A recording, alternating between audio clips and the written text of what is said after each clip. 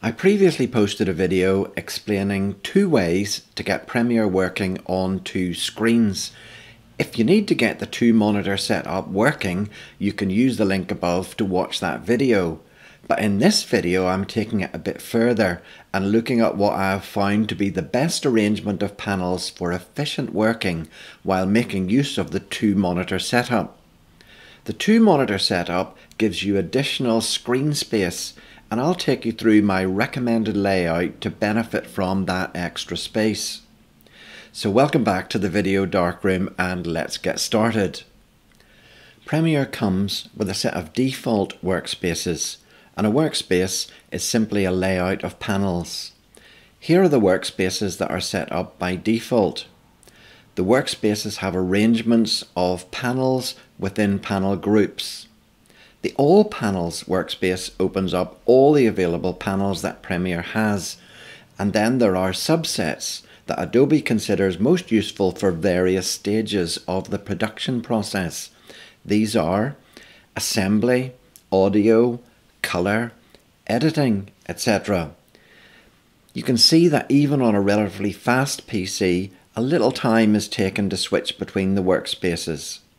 I find that I use assembly, editing, color, and graphics workspaces the most. I don't use the audio so much as I do most of my sound management in Audition. Beyond the assembly and editing workspaces, I would be using the essential graphics and color workspaces as the video production progresses. Well, this is all very well, and you can even speed up the process by learning the shortcuts to quickly navigate between the workspaces but there are drawbacks with this constant changing. First drawback is that it takes a little time for Premiere to redraw the screen and this can interrupt the flow of your work. Then there are the differences in where certain things are located when you change from one workspace to another, and this can get in the way of a fluid and fast workflow.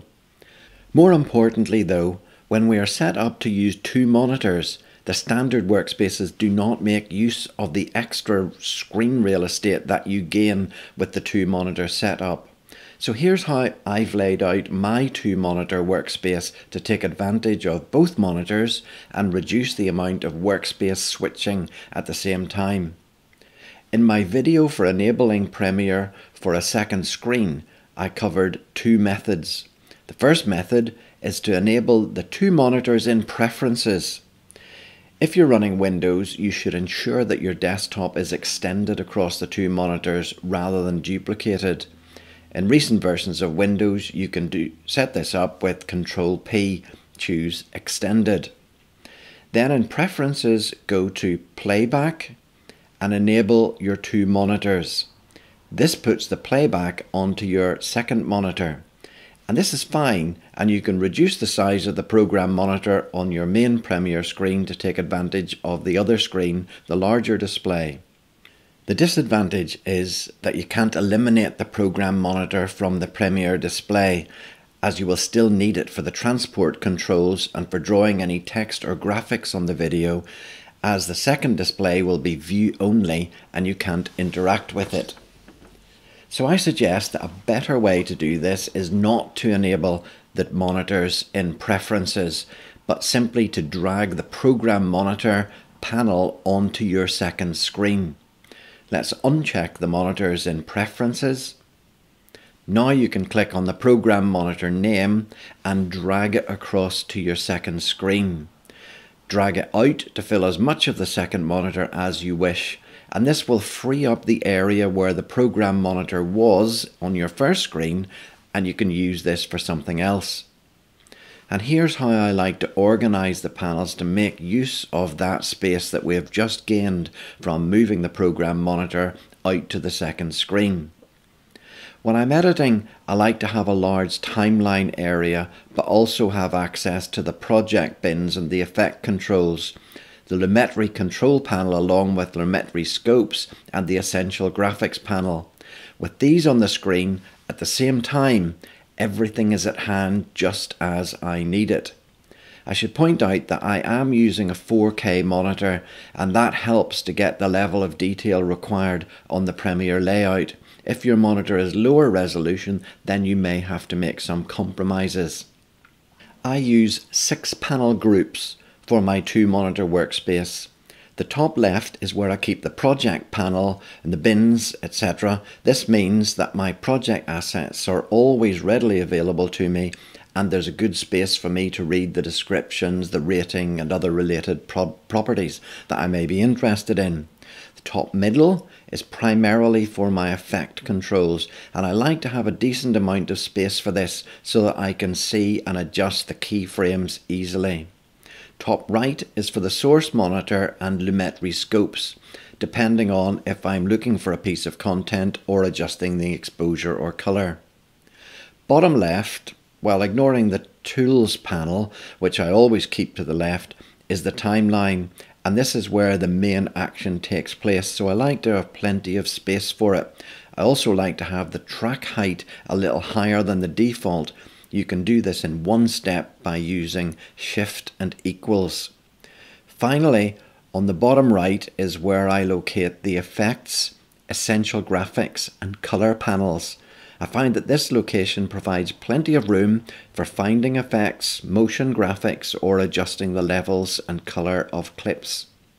To get your layout like this, you can firstly adjust the panel group sizes by dragging the boundaries any way as you wish to get them the sizes you need. You can then move panels from one group to another by dragging the panel name. For example, if we wanted to move this captions panel from the top left group to the bottom right group, simply drag the panel name to the middle of the panel group or onto the menu bar for that new group. If you don't drag to one of these areas, you'll see that a kind of arrow shape appears and releasing here will cause a new group to be created at that side. If you mess up the layout, you can get back to normal by clicking on the workspace menu button and choosing reset to saved layout. When you've got the arrangement as you want, then you can save this as a new workspace ready to be called up at any time.